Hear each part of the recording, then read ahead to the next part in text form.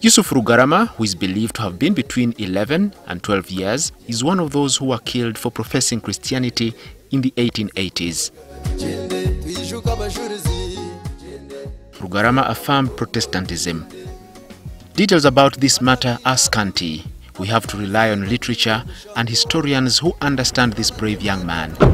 Among the 45 martyrs, there is one who has his roots in Ankole, and that's Yusuf Rugarama. I'm here to find out more about this matter.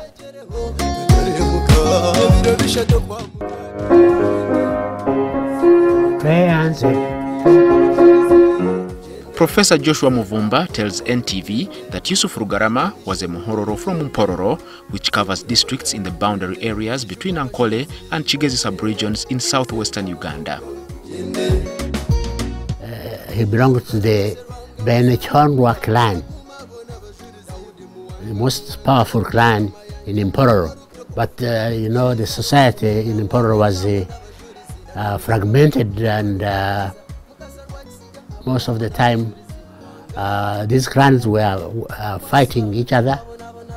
But they su- survived until the British came. It is believed that he came from Burunga, Burunga, which is part of North Ankole, the current North Ankole diocese. Rugarama is believed to have been captured by Baganda chiefs as a prisoner of war alongside Aloni Muhinda during Kabaka Mutesa I's commanded raids of Ankole in the 1870s. concentrated on looting Mpororo.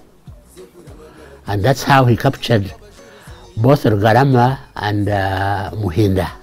These were very small children. They never took men eh, because the men of Ankole could not be slaves. They could not accept.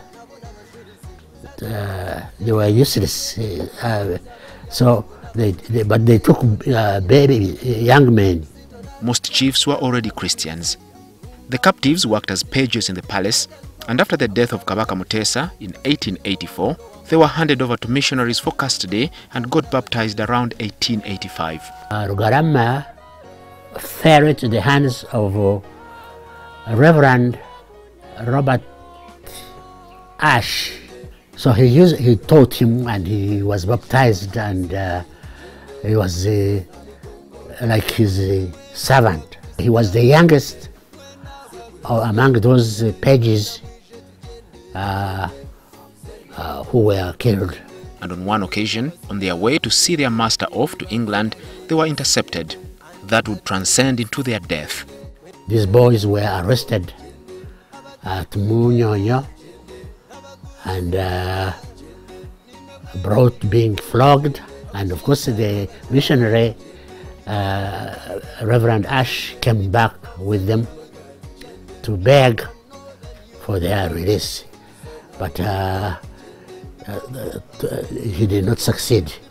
It was interpreted that he was taking them to England. That was the reason, the only reason. Otherwise, they wouldn't have been in the limelight to be killed. There were many, many Christians who were not killed. Muvumba says the circumstances leading to their martyrdom was fanned by provocation of singing Christian hymns and their persistent profession of Christianity. And it is said that the youngest among them, Rugarama, was the key uh, encourager of uh, professing Christianity.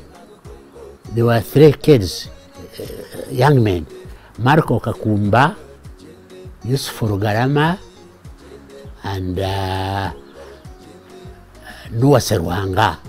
And they were the first martyrs to be killed.